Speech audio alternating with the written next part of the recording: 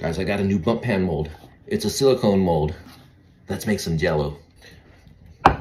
So we're gonna start by boiling some water. I'm gonna do four cups. So I got two right here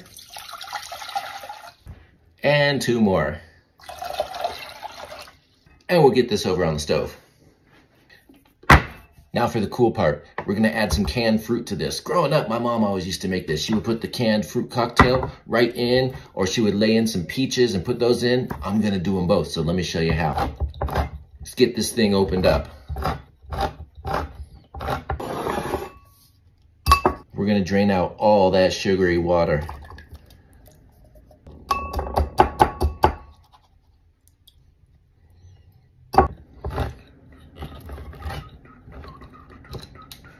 We're strain out our fruit cocktail.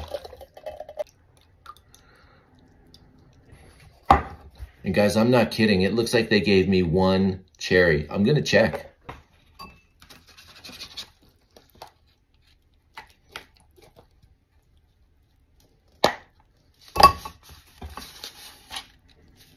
Guys, three cherries, one, two, three, and one little sliver. I guess we're skimping on the cherries these days. So the first thing we're gonna do, we're gonna take our mold, I'm gonna try to line these peaches up around the bottom. Then I'm gonna sprinkle on the fruit cocktail on top of that. Then we'll pour the jello on top of that. It might get all mixed around, it doesn't matter. When it's all done, it's gonna be cool either way, but I'm gonna try to make it look kind of pretty. So here we go, let's start getting the peaches in here. So guys, this Bundt pan has these little slots. So I'm doing the peaches in every other one. That way the fruit cocktail can go in every other one also. And then guess what? I'm throwing in some extra cherries. Yeah, you have to. So now my water is ready. I'm gonna make this jello. So I'm gonna throw two packets in. We're just gonna give this a nice stir, get it all mixed up, let that stuff dissolve. Use the boiling water to dissolve your jello and then you're going to add a couple cups of cold water into there. It's going to bring it down to temperature so you can pour it into whatever mold you're using. Of course, today I'm doing the Bundt pan full of all the fruit. So this looks just about ready. We're going to get our cold water and pour it in there. That's going to cool it off. I'm realizing about now I should have used a bigger pan, but that's okay. I'm just to go real slow. Be real careful. Give that a little stir. Just be sure it's nice and mixed. Then it's time to fill up my Bundt pan. So I'm to go real easy here. I don't want to disturb any of that fruit on the bottom. Just put one little scoop in there at a time. Scoop number two and scoop number three. I'm being really gentle. Suddenly I start seeing a couple little pieces of the fruit cocktail float around and I'm a little bit nervous about what's going to happen.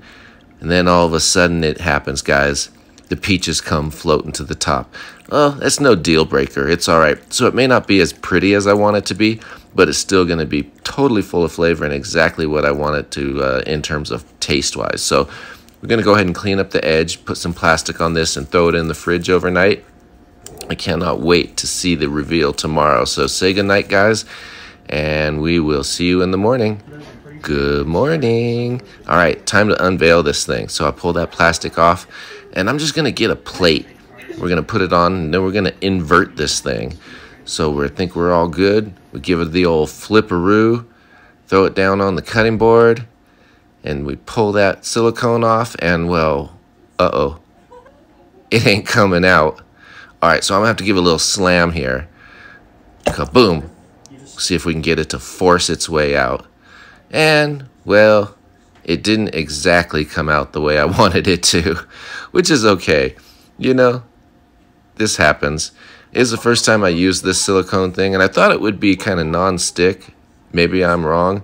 So I'm just going to scoop the rest of it onto this pan, and I'll tell you what, when I gave it a little taste, it was actually really, really good. Super refreshing, man. What a treat. Maybe next time I'll just line it with some plastic wrap or like warm the outside edge with a little water and see if that gets it to release. That was really good. I'll figure out a better way next time. Thanks for watching. Cheers, everyone.